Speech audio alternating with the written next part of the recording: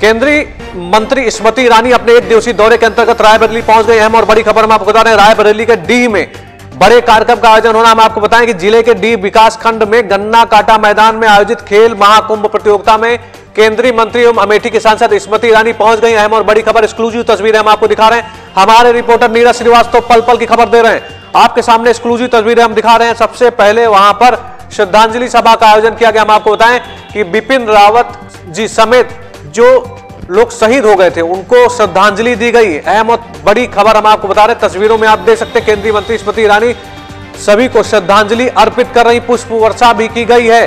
अहम और बड़ी खबर हम आपको बता रहे रायबरेली के डी पहुँची केंद्रीय मंत्री एवं अमेठी की सांसद स्मृति ईरानी, जिनका स्वागत।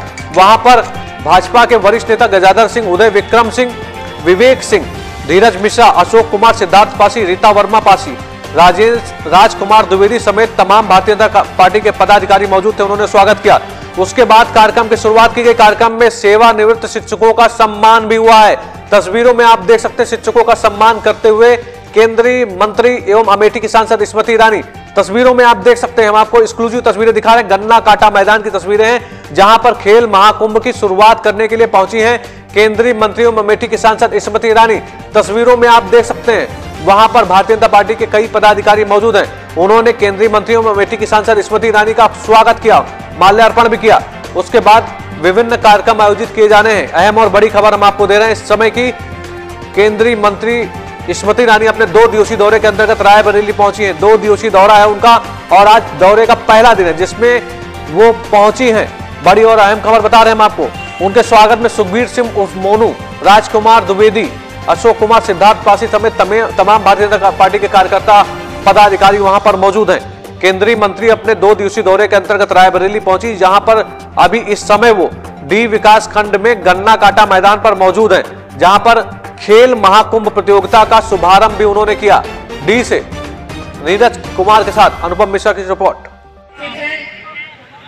अभी अभी मंच के नीचे हमने क्षेत्र के सभी जो शिक्षण संस्थानों से सेवा निवृत्त हुए ऐसे हमारे शिक्षकों के शुभ चरणों में प्रणाम किया है। सभी समाज के वर्गों की ओर से मंच पर आज मैं चाहूँगी कि यहाँ पर जितनी जनता उपस्थित है, नतमस्तक होकर अभिनंदन करें हमारे उन सैनिकों का, जिनको कभी पूर्व सैनिक नहीं कहते, क्योंकि एक बार जो बेड़ा उठा लेता है जननी जन्मभूमि की रक्षा का वो कभी भी उस सेवा से निवृत्त नहीं होता, इसलिए समाज की ओर से हमारे सैनिकों का यहाँ पर हम सब मिलकर अभिनंदन करें, उनका वंदन करें और जोरदार तालियों की